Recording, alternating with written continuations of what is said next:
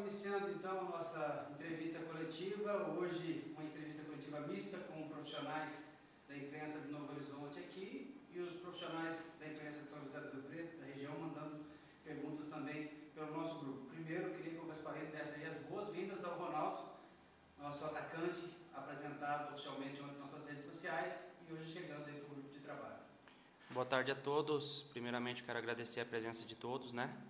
E hoje, com muita alegria, nós estamos apresentando o nosso atacante Ronaldo, o artilheiro do Campeonato Paulista de 2022. É com muita alegria que nós estamos recebendo ele hoje aqui, dando continuidade no nosso planejamento, na, na montagem do elenco para a Série B. É, estamos muito felizes e tenho certeza que, que dará alegria ao nosso torcedor.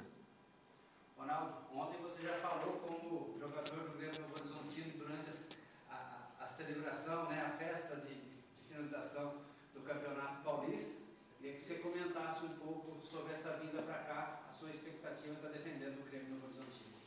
Boa tarde a todos. É, como você disse, né, ontem já, já fui questionado sobre meu futuro, disse que, que viria para cá. E minha escolha aqui foi, foi por conta do projeto, né? por tudo que o Novo Horizontino apresenta nos últimos anos. É, eu sou do estado, então, então conheço muito bem praticamente todos os clubes. E aqui é um clube que está sendo referência, é um clube que dá todo o respaldo para o jogador é, poder apenas se concentrar em, em, jogar futebol, que é o principal, né? Somos pagos para isso, essa é a nossa função. E aqui é um clube que está sendo um exemplo aí para ser seguido. Então, estou muito feliz com a minha vinda para cá e espero dar muitas alegrias aí ao torcedor. Legal. Bom, a gente tem aqui Roberto Santana, o, o Caio e a Júlia. Vou abrir as perguntas para vocês primeiro aqui que estão presentes, depois eu faço as perguntas foram mandadas. Júlia, por favor. Dirija-se. Tem, tem, temos também na coletiva, né, além do Ronaldo, o Diego Torres, nosso meio, que foi apresentado no sábado. Certo.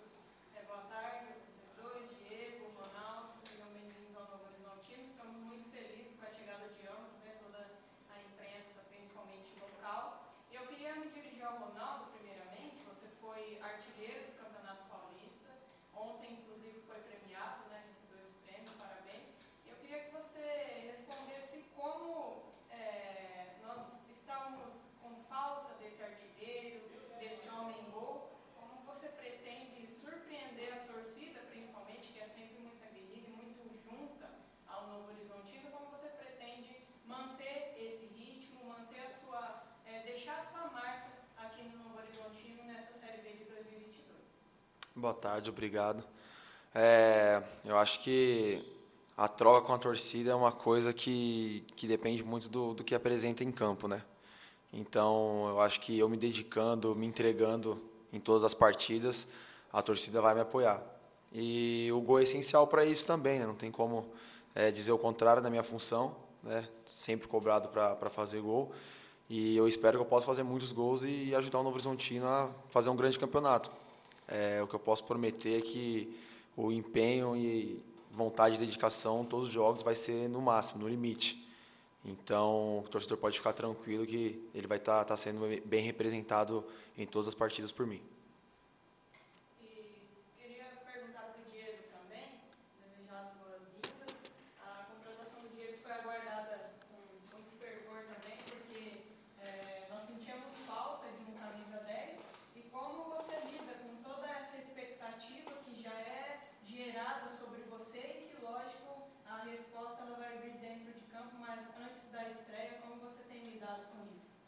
Primeiramente, boa tarde. E eu sempre falo uma coisa, eh, no futebol não tem muito segredo, né? É só trabalhar. Então, dia a dia trabalhar muito para se apresentar em campo, né? Então, é, eu sempre falo isso e, e eu acho que é isso o segredo do futebol, é só trabalhar e com certeza que eu vou dar o máximo dentro de campo e, e nessa torcida que me apoiou e me acolheu bem desde que eu cheguei, espero brindar eh, e dar muita alegria ao torcedor.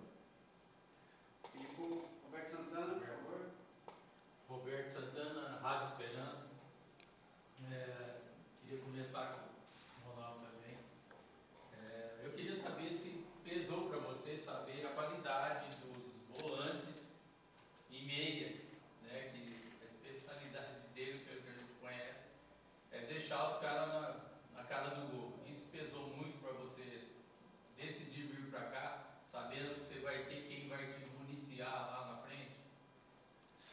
Boa tarde. Com certeza influencia, né? É, graças a Deus eu fiz um, um grande paulista, tinha inúmeras propostas e além de, como eu falei, tudo que é apresentado pelo Novo Horizontino como clube, a formação do elenco ela também foi preponderante para eu decidir vir para cá. Então, vi um elenco muito qualificado, não só no meio, né, em todas as posições. É, conversando com alguns outros jogadores, amigos meus, é, a gente tem muita qualidade reunida aqui. Se acho, acho que se a gente conseguir colocar em prática, né, se doando, se ajudando, competindo, a gente pode até surpreender nesse campeonato. Então, respondendo sua pergunta, claro que tem total influência a minha vinda para cá na, nas contratações que foram feitas.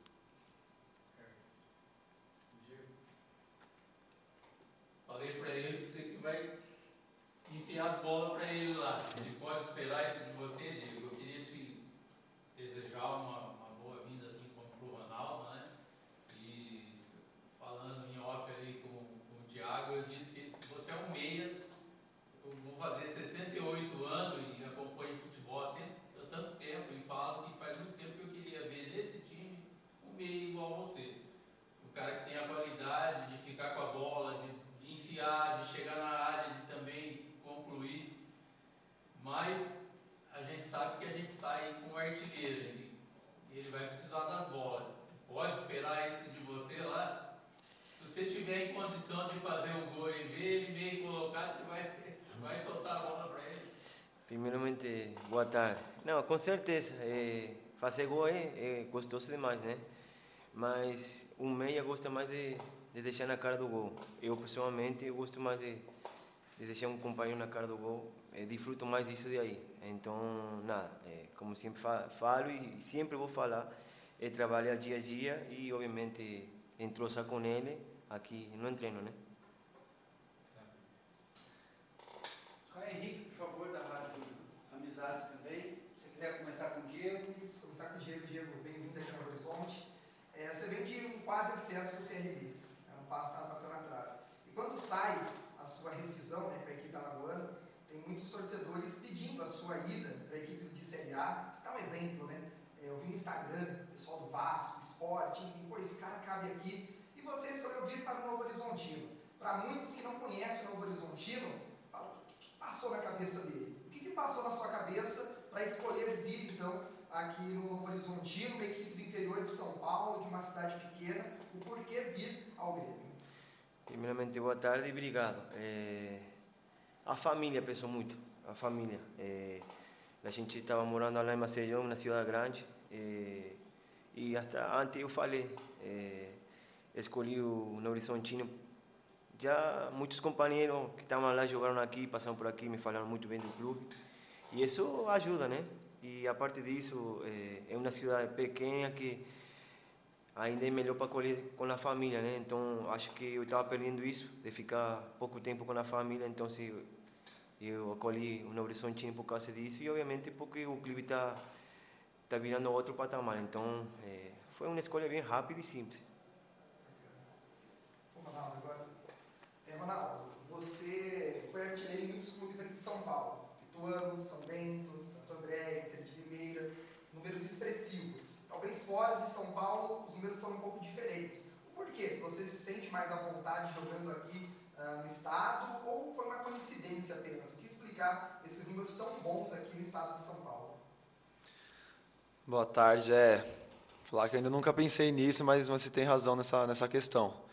É, eu sempre falo que para o jogador estar tá bem, para ele estar tá performando bem, na minha, na minha, no meu caso, né, para estar tá fazendo um gol, né, é uma junção de fatores que precisa dar certo para as coisas acontecerem. É, queria que aqui em São Paulo, sempre quando eu sou contratado pelos times, eu chego com, com o respaldo de eles acreditarem no meu potencial, é, darem tempo para mim, poder trabalhar o time na função que sabem que eu posso fazer, que eu posso exercer no meu, né, dentro das minhas características. E acho que a resposta sempre vem em campo. Né? Eu lembro quando eu saí da portuguesa, fui para o Guarani, ainda menino, com 20 anos, e eu falava né, para o meu agente, eu preciso só que me deem confiança e deixem eu jogar, que eu sei que eu consigo é, responder dentro de campo. E meu começo lá foi muito bom, né? A gente foi finalista do, do, do Paulista naquele ano. Então acho que, né, mesmo sem eu perceber, mas concordando com, com o que você disse, eu acho que é, é essa questão que, que é o fator determinante aí para eu nos times de São Paulo dar mais certo do que do que fora. Então, eu espero que mais uma vez possa possa acontecer isso. Bom, é, antes de passar, o Thiago também está à disposição. Se vocês quiserem fazer alguma pergunta para ele também aqui pra, na nossa coletiva, eu vou pedir para o Ronaldo responder a pergunta do Rafael Rodrigues do SBT, de São José do Rio Preto. Ronaldo, o que você projeta para a Série B, visto é, o que você acompanhou da equipe no Paulistão? É, a equipe mudou bastante, né? Do, do que estava no Paulista para agora, o elenco foi bastante modificado. Tem alguns remanescentes ainda, mas creio que, que vai ter muita mudança, tanto de perfil quanto de, de jogadores.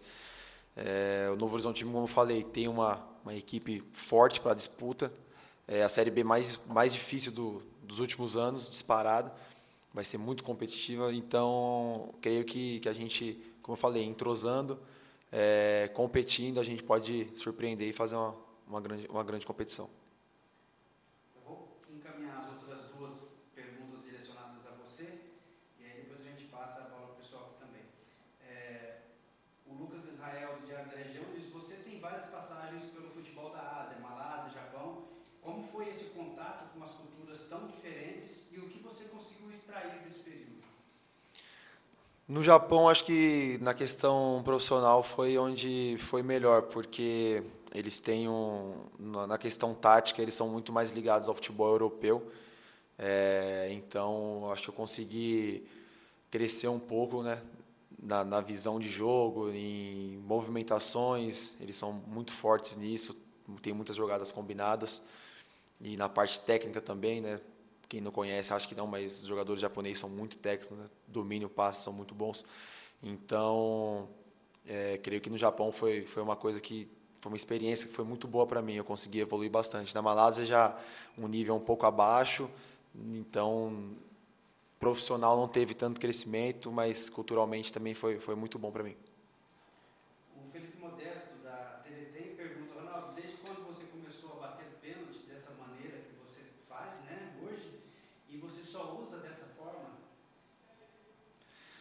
Desde que eu comecei a. que eu mudei, né, para bater da forma que eu bato hoje, eu nunca mais bati de outra maneira. É, vem dando certo, né, eu ainda não errei batendo assim. E sempre falo que isso é questão de treinamento, né? Na semana eu treino bastante. Pré-jogo treino pelo menos uns 6, 7 pênaltis aí para estar tá preparado para cobrar e fazer no jogo, né? Então, é uma coisa treinada, é, que, que demanda tempo também mas eu espero que, que eu continue fazendo para dar alegria para todo mundo.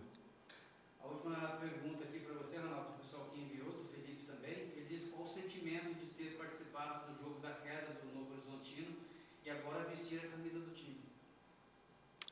É estranho, né? Porque logo que eu cheguei aqui, a primeira coisa que vem na minha mente, que comentam, né, é sobre aquele jogo, é triste porque tinham amigos aqui, né? Tenho alguns ainda permanecem. E pós-jogo já falei com alguns deles, é um sentimento de tristeza porque a gente também né, se coloca no, no lugar deles, né? Então, é, como eu falo, é como se fosse um luto no, né, no futebol, mas também os dias passam, as coisas mudam e tem que seguir firme, forte e acreditar que, que pode melhorar e as coisas vão voltar como, como eram antes.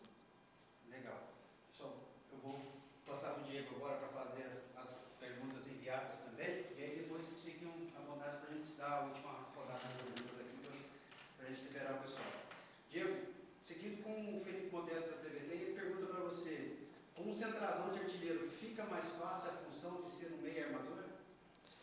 Com certeza, né? É, obviamente que isso ajuda muito. É, mas, independente disso, eu acho que entrosamento, cara. É, é o dia a dia, entrosar o mais rápido possível e vai ficar muito mais fácil. Com certeza. Para você também, do Rafael Rodrigues, do SBT, é, Diego, o que você conhece do Novo Horizontino e o que você destaca? É, em realidade eu não conheço muito não, né? Mas muitos amigos me falaram muito bem do clube, que é um clube com uma estrutura que é, planeja é, algo grande de aqui do Brasil e eu acho que vai num caminho certo. E depois, é, sempre falo que trabalhar, né? Trabalhar e dia a dia melhorar em todos os aspectos, né? Assim que tomara que dê certo e, e focado nisso. Júlia, à vontade para a segunda pergunta. Gostaria de me dirigir ao Thiago agora, é, para perguntar a respeito das negociações. Muitos jogadores já foram anunciados até aqui. E como você tem lidado com essa questão, que a gente mesmo aqui, antes de começar a entrar na coletiva, faz as perguntas, é verdade que algum jogador vai vir ou não vai, enfim. Como você tem se blindado a respeito dessas especulações para também é, procurar aí que o Novo Horizon- que o Novo Horizontino não tenha essas, não tenha essas negociações atrapalhadas? É, o mercado ele é muito dinâmico, né? Após o, o final dos estaduais, as especulações ela acontecem em, em todas as formas e todas as maneiras, porque o, o mercado ele está muito agressivo. Mas graças a Deus, eu acho que hoje a instituição ela ela tem nos facilitado o nosso trabalho, né? Que é um clube sério, um clube que tem o planejamento, um clube que segue à risca esse planejamento.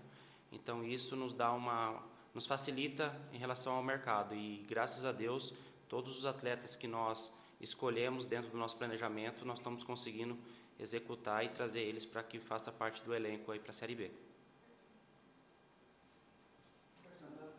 Eu acredito que todo executivo de futebol ele trabalha com no mínimo três planos, né?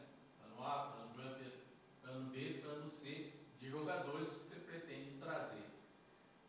Dos que você está trazendo, você está você está conseguindo atingir daquilo que você queria para montar uma equipe forte?